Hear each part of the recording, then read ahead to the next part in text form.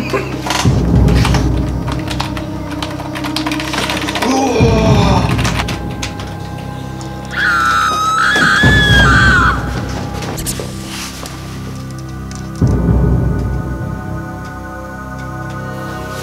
I be scared?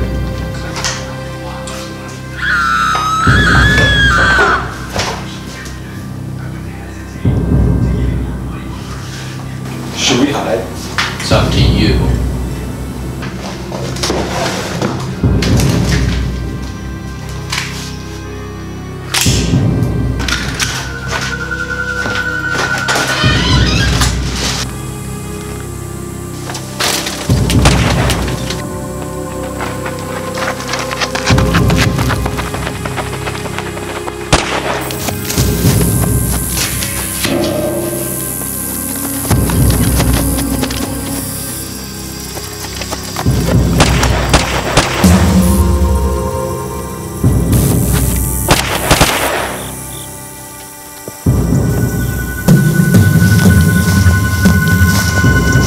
Never seen one up close before.